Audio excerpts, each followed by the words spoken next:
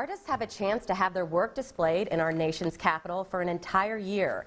Panhandle Congressman Mac Thornberry is accepting entries for the Congressional Art Competition. The yearly competition is open to all eligible high school students here on the High Plains. The deadline is April 22nd. The winner will be announced May 6th. Also, the winning student will have the chance to attend the exhibition's opening ceremony in Washington, D.C. this summer. For more on the competition, head over to myhighplains.com. A one of